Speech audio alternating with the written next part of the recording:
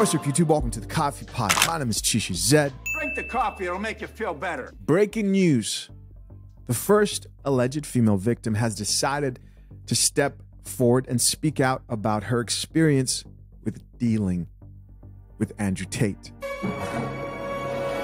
Now, this is via a video that's been produced by Vice. Now, there are a few things you should know about this video before you watch it, if you haven't already. If you have, well, we're going to talk about it right now. Number one, I cannot share it here on the Coffee Pod. Why? Because Vice has gone to great lengths to make sure anybody who tries to react to the video have commentary to go along while the um, alleged victim is speaking gets copyrighted and also their video gets like blocked and taken down. This is not just me, this is everybody who's decided to react to this video and some people like DJ Akademiks who decided to react to this video in real time. His stream was shut down twice. What's in this video? Well, it's a story that's actually not a new story to some people who remember this woman. In this video, a woman who seems like she's Andrew's ex, one of Andrew's ex girlfriends, is accusing him of getting physical with her, intimidating her, watching him intimidate other women, get physical with other women, etc. Right? As you expect, she cries on camera, but they don't show her face. Why? Because they're protecting her from the evil supporters of the misogynist Andrew Tate, which leads me to my next point. One of the main things I notice about this specific video is it's actually a promotion, right? What I found out is it's actually a promotion for a larger documentary that's coming out. Go figure, a hit piece. Now, right from the start, Andrew Tate is introduced as a highly misogynistic social media influencer.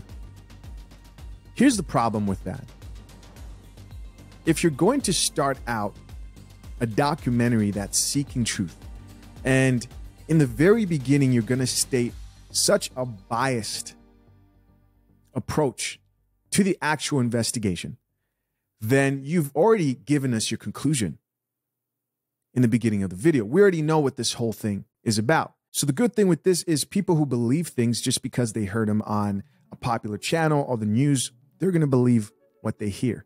But the bad news is you're not going to trick men. You're not going to convince thinking people that, oh, he's misogynistic. So anything going forward past this has to be the truth because of this label that we have put on him.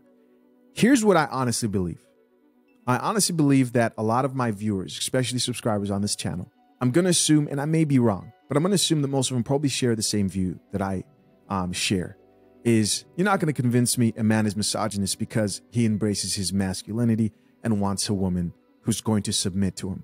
You're not going to convince me that. That's not going to be the selling point of why I believe everything going forward. I'll need some proof.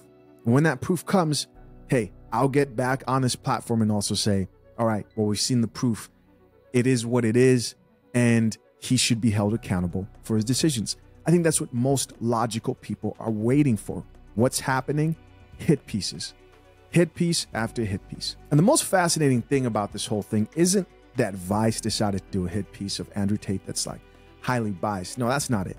It's the fact that Andrew Tate also predicted that Vice would do this. How might you ask? Well, the man who's facilitating the conversation in the interview with the woman, he's the only person on camera whose face is being shown. This man goes by the name of Matt Shea, and you won't believe the backstory between this guy's relationship with the Tate brothers.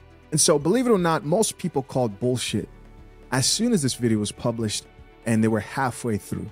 In fact, it was so bad that Vice actually took down the video, re uploaded it, and shut off the comments. Drink the coffee, it'll make you feel better. They couldn't handle the coffee in the comment section. They like tea. No, um, I'll have a tea actually. Many people noticed this, like this commenter who said, Urgent guys, that Vice video was actually put up a few hours prior on Vice channel. But they took it down because the comments was flooded with calling her BS and saying this is one of the few girls we already heard of. The comment goes on to say, so they took it down within like half an hour. Then we uploaded it a few hours later with comments disabled. Well played, Vice. Well played. These are the tactics right? Copywriting, blocking uh, people from commenting on the actual video in real time. These are the tactics that they're resorting to right now. But the problem with this is like until there is concrete proof, there's just a majority of people who are not going to believe anything that comes from the media with an agenda. But it makes sense. Of course, they're coming out with the hit piece. Why? Because they know it's going to earn views, earn subscribers, and make them more money. But back to what I really want to focus on in this video, which is this gentleman, Matt Shea.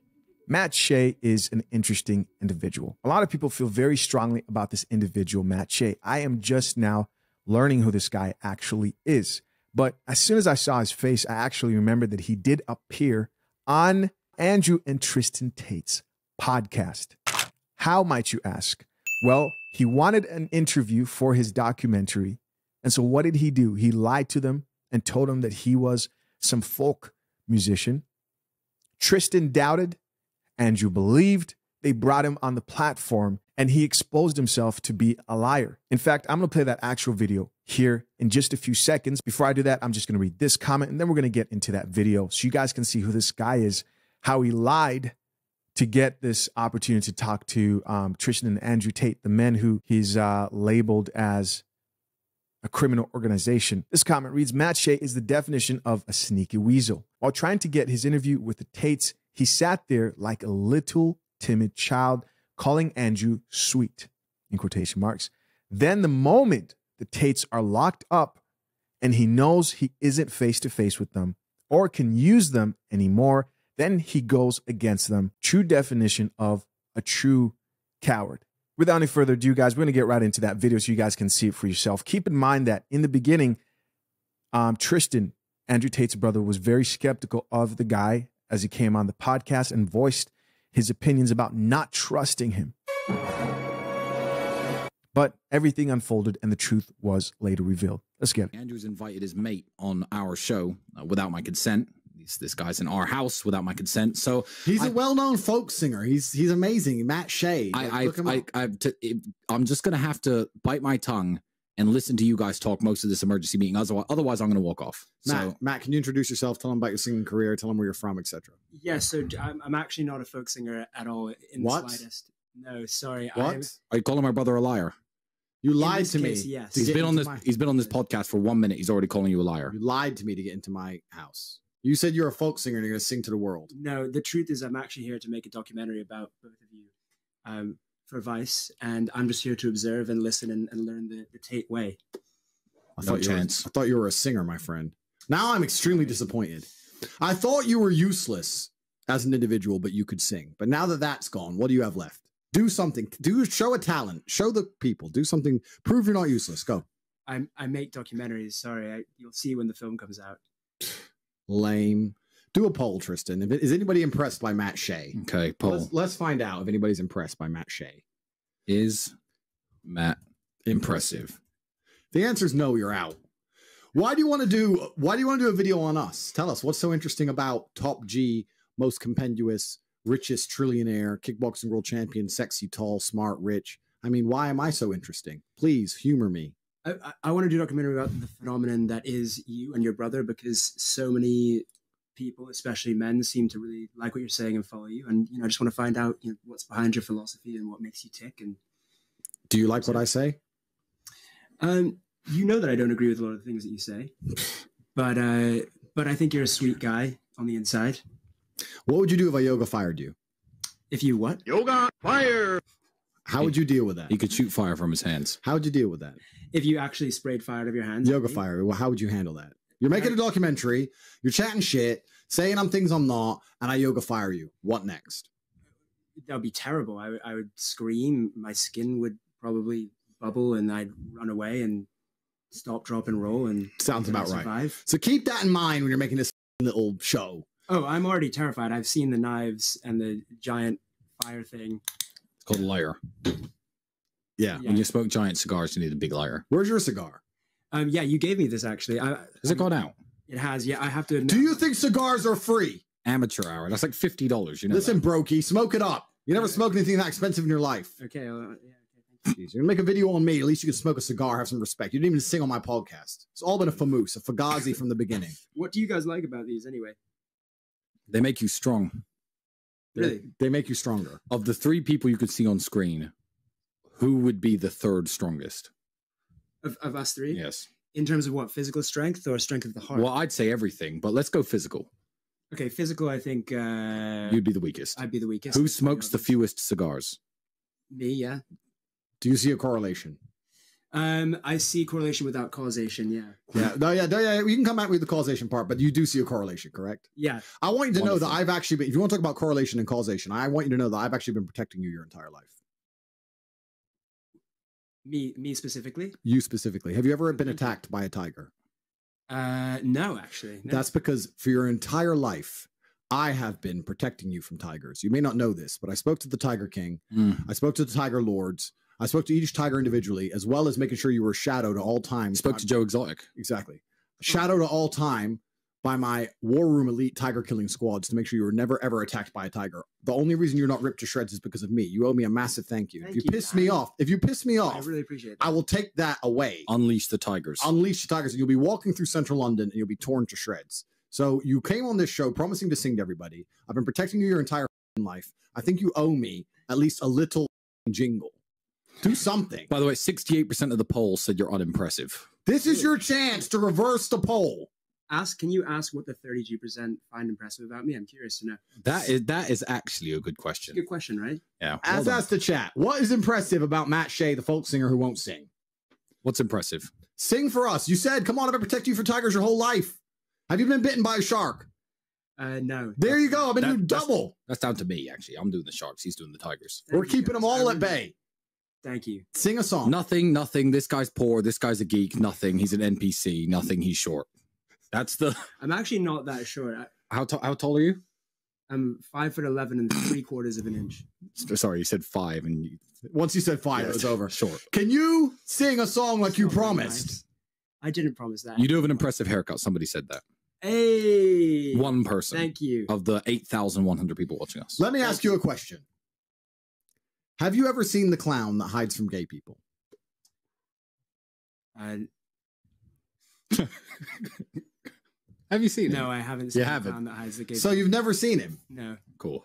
and Don't you've say. been all around the world, right? Mhm. And you've never seen the clown that hides from gay people. I still haven't seen him. No. Is he here somewhere? Strange. Well, yeah, he's right here. I see him. I see him. You don't see him. Strange. Funny that. Yeah, Cool. funny. So we understand. You've never seen the clown. He won't sing.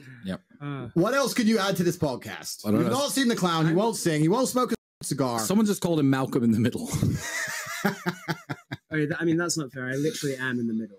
yeah, Yeah. that is a bit unfair. All right, let's be nice to our vice friend. Let's be nice. He's your friend. He is my friend, and he's going to do a, a hit piece on me. So let me be nice to him before he does a hit piece. He is, this is definitely a hit piece. I've warned my brother that this is a setup, and this is what everyone in the I chat is saying. as well. don't care. I want everyone in the world to know when you plan on making a hit piece for me, you can sit there editing away, jerking your going, oh, I'm going to make a hit piece, and he's going to really, really upset. I don't care. Do hit pieces. Say bad things about me. I'm uninterested. I've We've- clearly conquered the internet. I'm clearly unstoppable. I'm like the Borg. You've invited the liberal news media to come. They can all life. come. I'm like the Borg. The more you shoot me with your phasers, the more I adapt. Harder to kill. Just don't look in that room because our kidnap vac- victims are in that room. correct. Here, Vice. Let me show you a video of my Bugatti, which costs 5.2 million dollars. Big Andrew Tate and Tristan Tate, real bad man in the blood clot. Super expensive Bugatti Chiron Pure Sport, one of only 50 in the world, one of my 27 supercars. They're going to say it's in Germany getting its tire changed, and they're going to say that we don't own one. That's what they're going to do. You know, I wasn't going to say that, but you saying that does beg the question. Yeah, Tristan, why are you giving the liberal media ideas? Yeah.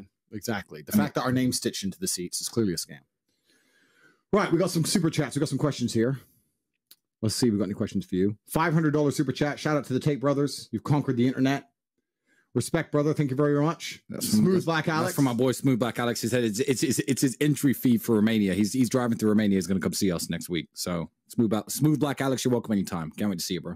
see if we have any questions for Wait, our so thi- friend here. this guy just paid five favorite No. to you guys. Well, no, he paid five hundred dollars to the Save Joe Exotic Fund because that's where all the money goes. All the money goes to saving Joe Exotic because we're going to save him. Have you watched Tiger King? yeah, I have. Okay. Have I been protecting you from tigers? Yes or no? Yeah. apparently. Okay. We when he all said know. he spoke to the King of Tigers, who do you think he was referring to? Have you not seen the video on my YouTube where I call him in jail and say that Carole Baskin him up and I'm going to get him out? No. You Well- don't even watch my YouTube channel. We're bro. raising money. All the super chats here. Do, do I look like I need money? Um, Maybe if you keep burning my cigars and not smoking them properly, I'm going to go bankrupt. But until then, I don't need money. So the money goes to help our boy Joe Exotic. You need you need to watch my Tate speech and learn about our missions in life. Do you, you watch Tiger King, right? You do believe that Joe Exotic should be free, don't you? I don't really remember the plot of Tiger King. He was trying to run a tiger business. Everyone started telling stories about him and lying to the police about him and shit. Mm-hmm. Horrible. Poor guy. This is what happens when you save a guy from tigers his whole life. He has no respect for the Tiger King. He doesn't, does he? Won't even sing a song. He doesn't. Wait, wait. Are Vice going to call us ma- weird names like racist and homophobic because Joe Exotic is a homosexual and all of our money goes to help him out? So That's true. I just want to put that out there before you guys start labeling us with stupid labels. I also want to put out there if you guys decide to do a hit piece that you are a cisgendered white male and I am an ethnic minority. I am half Mm. African American, as you can tell. And as a person of color, I find it extremely offensive if you're going to do a hit piece on me. And that will be my reply because I think that's why you're doing it. A bunch of white men have turned up to my house. They're filming me as a person of color and they intend on trying to paint me in a negative light. If I was white like all of you, you wouldn't do that. So keep that in mind. the leader of the war room, the highest ranking member of the war room outside myself and my brother, is a Jew as well. So before you start saying stupid things, because I don't trust you 1%. I, haven't don't want Sing you in my song. house. Sing like you anything. You haven't promised. said, but that's you, you're, Sing a song. Andrew, it's a setup. This guy's the friendly face. They send him here. Well, I haven't Sing a said this. song. And his editor and his voiceover guy are going to be like, well, you know. You promised to I've sing to me. I've just sat here. I've I've just I've said. If a you setup. think I won't kick Vice out of my house, I don't You've care. How created a long did you creating a straw? how long did you fly? How long did it take you to fly here? Uh, about three hours. Would you be upset if the documentary and all ended? I just kicked you out right now. What would you do? Yeah, I'd be very upset. Please don't do You that. got You're gonna have to leave, bro. You're gonna have to leave. I'm sorry. Don't make me call the security. I don't look. I'm gonna. I'm, I'll give you some chance. Well, Are we done with this guy? I think. a few more minutes, or no, are we done with no, him? no. You can sing now, or you're off the pod. That's fair. I, I I'm I don't think I can sing. Why not? Just sing a little jingle. I can't sing when I'm nervous and there's Sing the knives Mr. around me, Producer and I'm song. in between two Tate brothers and they're both incredibly hench and good at. Oh, I see. Because because we're half black, we're violent. Is that what it is? Is it racism? typical? Is that the card he's playing? cisgendered white male? Trying to bring typical. down, trying to bring down the black. we can see how they're coming at us. Mm. It's fine. No, it's no problem. You know, Hit I- piece. It's fine. You no know problem. I haven't said any. Don't worry about it. Just because I'm wearing a gun, I'm violent. Is that how it is? Just because I got knives all over the table and I'm a kickboxing world champion, I'm violent. Well, it's actually you know that's something I might maybe maybe respond to. If you are wearing a gun and you have knives, that does make you a little bit violent. It makes no, it doesn't. No, it doesn't. It makes me security aware. Security. if you have a knife and fork in your hand, are a violent man. With the knife and fork I used to cut my meal. I use It- I use these things this. for other. He used it to isn't cut the cigar. yeah, I, did I not use the knife to cut your cigar? What would you do if a pigeon came in here? You'd ask me, pull the I strap, no idea kill the what it is. pigeon. That's what I you wouldn't- do. No, I wouldn't. Pest control. Listen, I'm tired of I'm tired of being accused of things. Uh, this is absolutely You've unacceptable. in my accused yourself house. of things. Absolutely said anything. unacceptable. Do we kick him off the pod? Well, it's got to be a poll. It's got to gonna be a poll. It's gonna be a poll. Do we keep him or do we kick him off? Keep Matt. Yes or no? It's gonna be interesting. In the meantime, let's uh talk about I'm I'm being dragged into this. I'm agreeing to the documentary because Andrew thinks it's a good idea, and as his brother, I trust his judgment. But man, do I dislike these people. I know it's not it's not it's gonna be fine. It's gonna be fine. It's no problem. What they say on the poll? Uh, it's 51%. So you got a, few more votes, guys. It's Keep- close. It's 51% to keeping you. Keep Matt. Yes, 51%. Guys, like the video if you're watching. Yeah, like press the like button, share it with your friends. Message needs to go worldwide. So Matt, why did you decide to make documentaries? Let's educate the people at home. Uh, Talk talking to the mic if you don't mind. Because I'm just really interested in the world. Sorry, I'm just interested in the world. I'm interested in the people in it, and you two are, at the very least, very interesting people. And I want to know what's behind that. What, how old were you when you made your first one? What was your first documentary about? Um, my first documentary was about shit. I don't even remember. I've done so many. Any of you know what my first documentary was about? Oh, it was about competitive gaming. Yeah, it was about esports. That's actually leads into something very interesting because I've been going on Twitch lately and Mm. getting all the Twitch records because anywhere I go, everyone Mm. watches. And uh, Twitch is a cesspool. It's a cesspool Disgusting. of degeneracy and sadness and just weakness. You have 15 year olds getting paid millions to play video games. What I don't understand is this.